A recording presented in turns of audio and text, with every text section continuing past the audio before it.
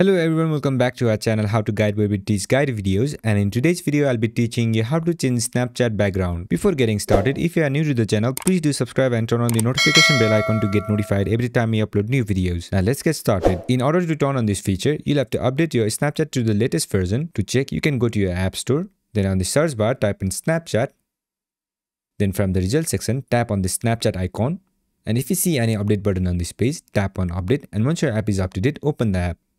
Once you're on the application, make sure you log into your account and once you log in, you can go to the chat section and open any chat. Now, to change the background, all you have to do is tap on the person's profile at the top bar, then scroll a bit down, then under our chat section, tap on wallpaper. Then this pop-up will appear. On this pop-up, tap on change wallpaper.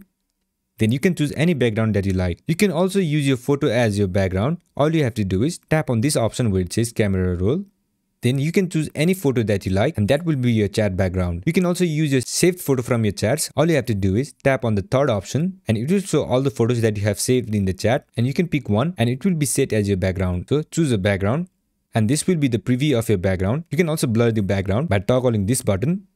Then tap on the confirm button. Once you do that, go back to the chat and as you can see, the background has been changed. So this is how you do it. I hope this video was helpful and if it was, don't forget to leave a like, comment and subscribe and turn on the notification bell icon to get notified every time I upload new videos. And I'll catch you in the next one.